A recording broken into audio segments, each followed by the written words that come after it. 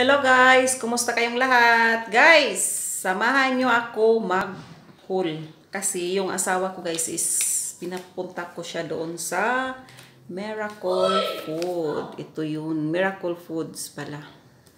Kaya yan guys, tingnan natin kung ano ang nasa bag. Kaya yan guys, oh.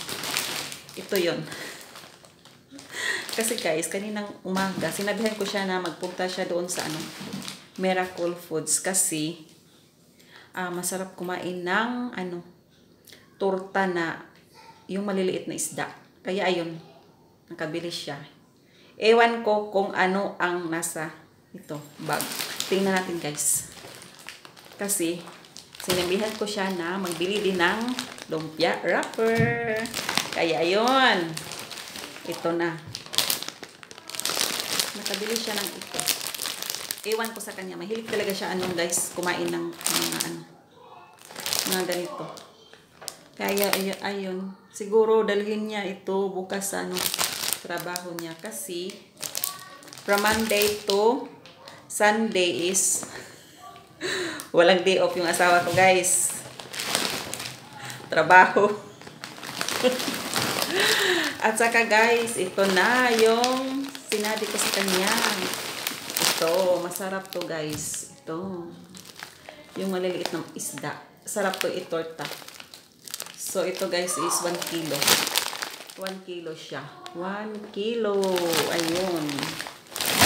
So, nakabili din siya ng ito. Meat ng tahong. Isang kilo din. Saka ito. May pang ano na tayo.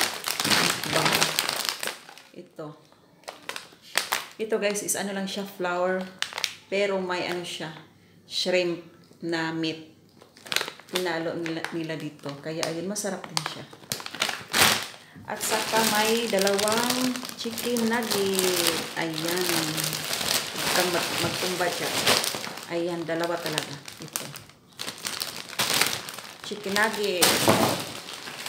At saka guys, ito na guys yung ano natin. Lumpia wrapper. Nagbili din siya ng tatlo. Tatlo. Isa. Dalawa. Tatlo. Nakabili siya.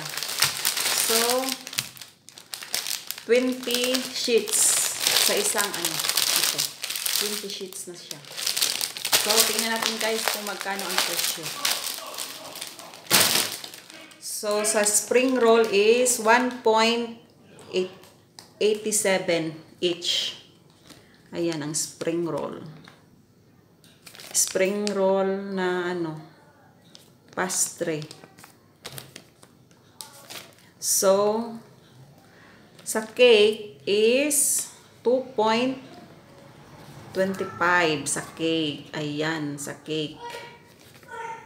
Sa ano, sa chicken nugget is 4.10. Ayan, ang chicken nugget. So, sa shrimp na sinabi ko sa inyo na ano lang siya, flour lang siya is ito. Is ano siya, 3.42. Ayan. 3.42 sa tahong na ano meat ito siya 6.98 ito 6.98 saan ba yun? Banda. Basta.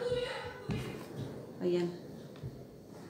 Maano na yun So, nabayaran niya is ano, 30.41. So, sa ano, sa kato, sa, uh -huh, nakabisaya na ako. Sa ano pala, yung maliliit na isda, yung pang ano natin is, ano siya, sa isang kilo is, ano lang siya, 3.95. Ayan, 3.95. May pang ano na tayo. May pang torta.